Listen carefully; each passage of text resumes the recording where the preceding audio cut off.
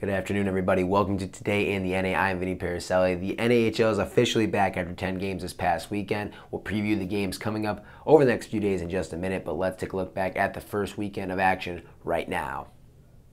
The best game of the weekend came on Sunday as the Maryland Black Bears had a 6-1 lead in the second period. We'll pick it up when it's 6-2. Brendan Clark going to do it all himself to make it a 6-3 game. It would be 6-4 heading to the third. Anthony Mastromonica with his second of the game to get the contest within one. Mikhail Sator nets his game-tying goal with about 12 and a half minutes remaining. And of course, we'll need overtime. And in the extra frame, John Galat with a breakaway and makes no mistake. The Tomahawks overcome a five-goal deficit to win this one 7-6 in overtime, an early candidate for top game of the year.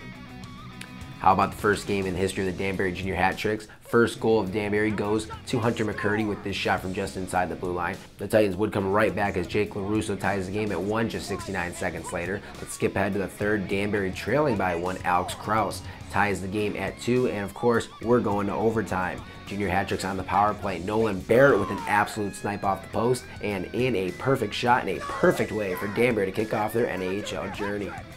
Those are some of the top games from the weekend. Aberdeen and Maine picked up sweeps while Minot, Bismarck, Johnstown, Maryland, and New Jersey and Danbury all split on the opening weekend. Let's take a look now at the league leaders after a couple of games.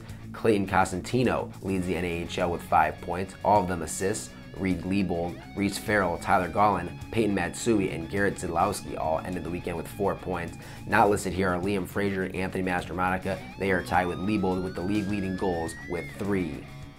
Coming up this weekend, we've got nine games on the schedule. The only single game will be between Northeast and Danbury. The Generals are looking for their first win after dropping their first two games in Maine. Danbury will try to get back on track after splitting with the Titans.